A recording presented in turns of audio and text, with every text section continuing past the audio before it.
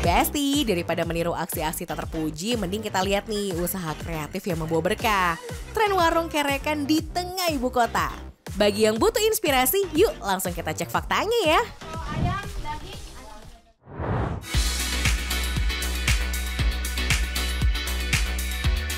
Besti, emang deh bisa terdesak kreativitas warga plus 62 tuh nggak ada matinya. Kayak warung unik yang satu ini, belinya tuh teriak, pesannya diantar pakai ember. OMG, kok gitu ya? Tinggal satu ayam ada. Bahkan yang paling heboh adalah momen ketika selebgram Fadil Jaidi juga ikut-ikutan beli nih Besti.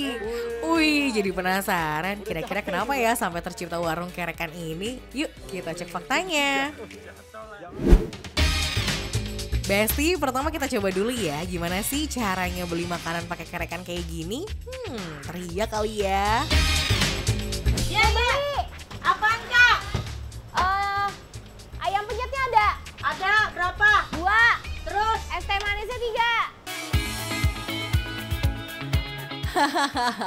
Selain uang, kita harus siapkan suara yang besar, Besti. Kalau lagi sakit tenggorokan, mending teman aja deh yang teriak. Daripada salah beli gara-gara suaranya nggak jelas, ya kan? Oh iya Besti, di sini tuh panas pol. Jadi kalau beli makan di jam makan siang, si ibu pemilik warung akan menyarankan pembeli untuk menunggu di tempat yang teduh. ah, ngadem dulu kak. Panas ter hitam. Oh iya, Ya, sonoan dikit. gak hitam dah, paling abu-abu dikit.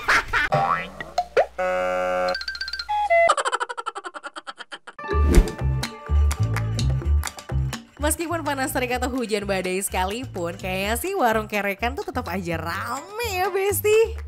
Berlokasi di belakang gedung perkantoran area Kuningan, Jakarta Selatan, membuat warung-warung kerekan ini tuh ramai ketika jam makan siang. Kak, eh, beli kayak gini kan ini pertama kali. Gimana kak rasanya? Bingung?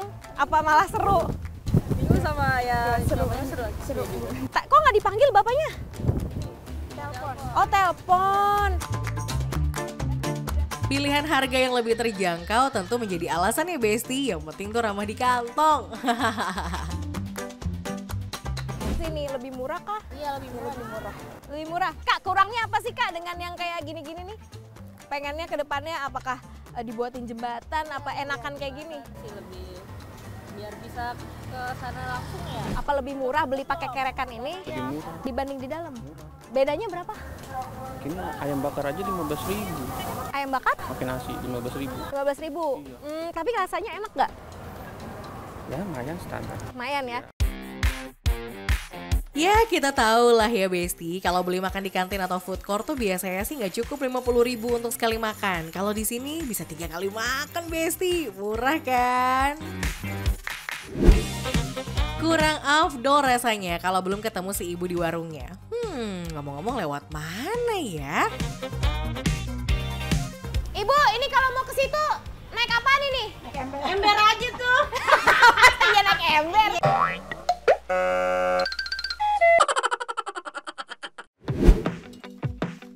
Katanya sih Besti kerekan atau yang lebih kerennya katrol ini adalah shortcut para penjual untuk nganterin makanan ke pembeli dengan cepat. Ya bisa dibilang tuh jalan pintas gitu deh Besti, soalnya jauh banget lokasinya. Gak percaya? Coba deh kita cek dengan pengukur waktu seberapa lama sih menuju warung si ibu. Nah Besti, jangan heran kenapa saya pakai helm karena nih Besti ya, kita mau ke rumahnya si ibu. Tapi karena kayaknya bakalan lewat gang sempit, jadi kita naik motor aja ke bawah ya. Kita tes kira-kira kalau misalnya nggak pakai kerekan nih, saya mau beli ke bawah berapa menit? Yuk kita mulai. Untuk menuju ke sana, kita harus melewati jalan yang berbelok-belok. Patokannya adalah Gang Poncol. Hah Besti, ya kan bener kan nggak bakalan bisa nih Besti kalau misalnya kita naik mobil. Karena harus masuk gang, Duh Besti, setelah masuk-masuk gang kayaknya warungnya udah terlihat nih. Alhamdulillah. Bu Neneng, bener Bu Neneng. Nah ini dia nih Besti. Sinian Bu, sinian Bu. Ya Bu, lihat Bu saya pakai helm Bu. Saya nggak naik ember, saya naiknya motor. Set, eh, eh jatuh. 9 menit 44 detik. Dari atas. Dari atas ke sini, Bu. Itu naik motor. Kalau jalan kaki kayak sehari kali ya.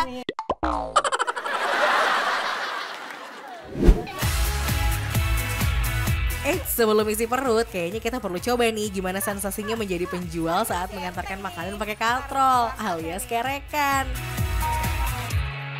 Ini nggak panas, Bu, tangannya biasanya. Oh, iya, peri-peri gitu ya? Oh, kalau udah biasa nggak? Ini karena kejemur nih talinya nih, Besti. Panas. banyak baru terasa berat Oh iya benar. sedikit enteng Eneng.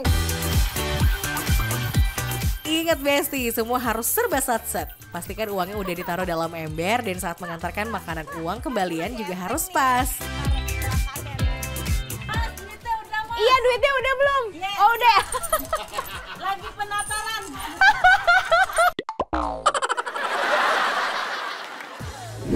Wah.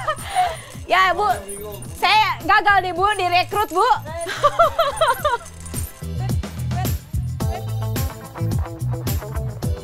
Tantangannya nih Besti, kita harus konsentrasi, harus ingat pesanan dan juga uang kembalian. Pokoknya jangan sampai salah ya. Kalau salah ya bisa-bisa para pembeli kesel. Ini kebayang ya baru baru kopi doang udah bingung. Nih Mas, sudah.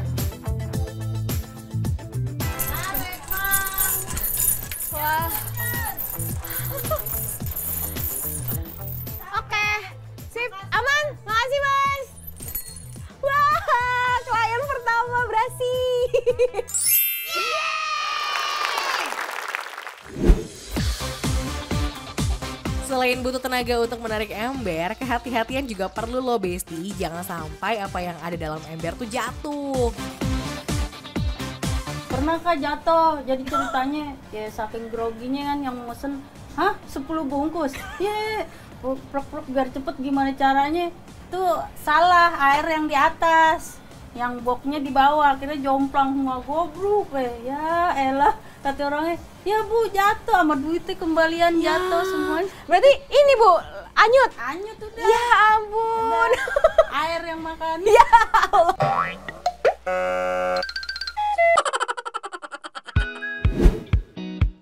FYI nih Besti, sebelum adanya katrol ini dahulu pembeli bisa menyeberang lewat jembatan kecil. Tapi kini jembatannya udah nggak ada. Makanya Bu Neneng berinisiatif jualan dengan dikerek menggunakan katrol dan ember ini. Wah, si ibu keren juga ya. Namanya juga kreatif untuk bertahan hidup, Besti. Tapi ngomong-ngomong nih Besti, si ibu tuh justru bersyukur loh jualan seperti ini. Katanya lebih enak. Minumnya apa? Sebelum ada ini tuh pada kasbon atau sekarang nih yang malah kasbon? Dari waktu belum ada ember kan, kan pada turun mereka ke sini. Heeh. Itu sering kasbon ya? Wah, nakal ya. kalau sekarang gimana Bu? Kan sekarang kalau nggak salah ada transfer ya? Iya. Luar biasa loh Bu Neneng ini, ada transfer ya Bu ya? Ada.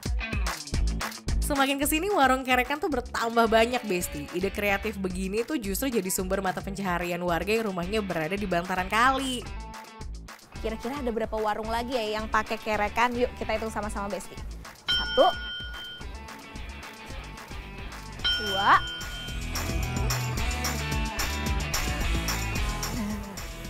Ada tiga.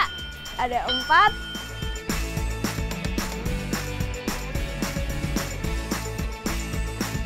Ini warung ke lima. Oh, warung ke lima.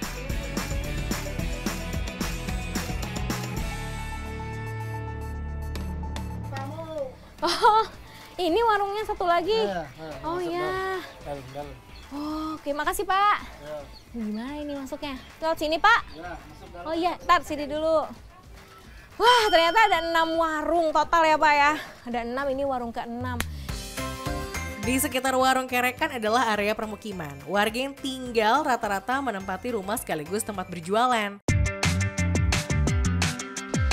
Bantuin ngerek ember jualan udah. Kayaknya yang belum nyobain makanannya deh ini Besti.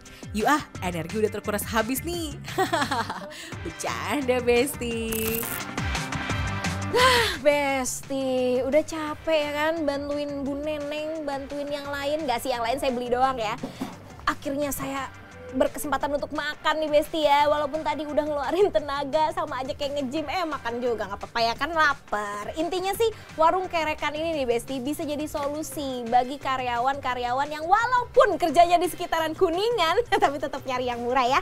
Oke deh kalau gitu cek fakta sampai di sini dulu dan sampai jumpa di cek fakta berikutnya. Saya makan dulu Besti. Aus, minum dulu.